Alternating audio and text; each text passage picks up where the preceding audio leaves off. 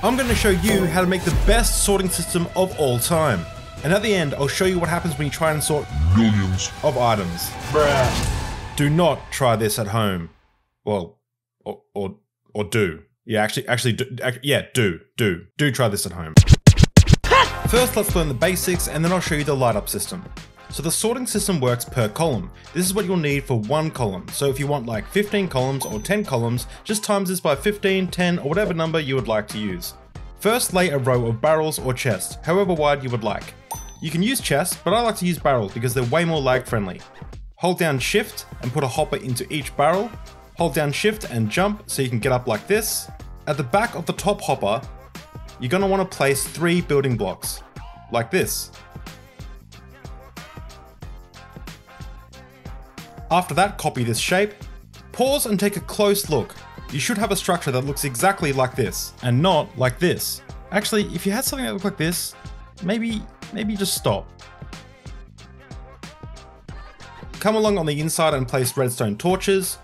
Now it's time to jump up. Break this block so we can get the redstone repeaters in. The redstone repeaters should face towards the barrels. Once they're in, cover the space back up, and this is just to check, make sure the redstone repeaters are facing this exact same way. Now it's time to place the redstone dust. Place the redstone dust all over the top building blocks, leaving a small gap for the comparators. Place the comparators facing into the redstone like this. It should look like this. And now for the tricky part. You want to hold shift and right click a hopper into the comparator. So the hopper should look like this. So now we just need to create the in pipe and the out pipe. This is where the items will come from and where they'll end up if they don't get picked up by the sorting system. So I'm going to have it coming into this side and then going out to this side. So for items that don't get picked up in the sorting system, we want to create a junk chest.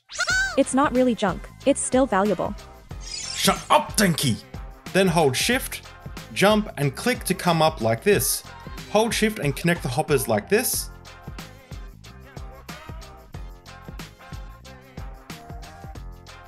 You can then build a wall if you like and then use item frames to display the items that are in the chests.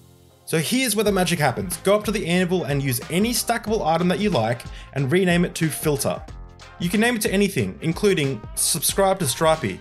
It just has to be unique. Now back to the top, you want to make sure every single checking hopper is filled with those filter objects, except for the first slot like this. Then all you need to do is fill the first slot with whatever item that you want to be sorted. So for this one, I'm just going to put some iron and you'll notice that the items start to tick down to 41. This is the item system working correctly.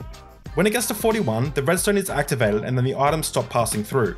If you want to decrease this number, so more items pass through, just add some more filter objects. Okay, so make sure you complete every single checking hopper, placing the corresponding items inside each one. Now this is when you can decorate the item frames.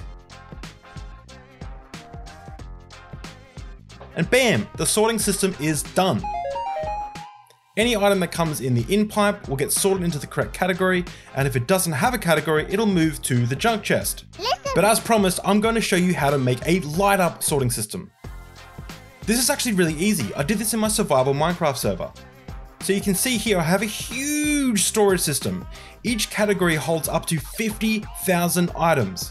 So when I come back from a big day of exploring, all I need to do is put all my items in these chests and they'll go through the sorting system. I actually have chests all over my base that go straight back into the sorting system. Then the sorting system will sort each item into its correct category, and the lights will tell me how much items I have in each category. Each light represents two barrels full. Now, something of this size is probably imperative that you use barrels, because they really reduce lag, especially if you're playing on a server with friends. Trust me, I know, my friends made me replace all of these chests with barrels because the game became pretty much unplayable for them. Okay, so let me show you how to quickly make this. So what's happening here looks complicated, but it's really not. All that is happening is a comparator is checking to see if there's anything inside the barrel or chest, and then it's pushing a signal through a stone into a redstone lamp. The reason it has to go through another stone is that so it reduces the signal strength so it doesn't light up adjoining lamps at the same time. Then we just have some connected hoppers and storage that will fill up from the bottom to the top. Then, instead of connecting our sorting system to the bottom chest like before, we are going to connect it to the top. So here's a quick step by step. Start by laying the chests, add three hoppers going into each other and into the chest, finish the wall by going wall, redstone lamp, wall, redstone lamp, then on the second row of hoppers, add a building block, and then follow this design with the comparators.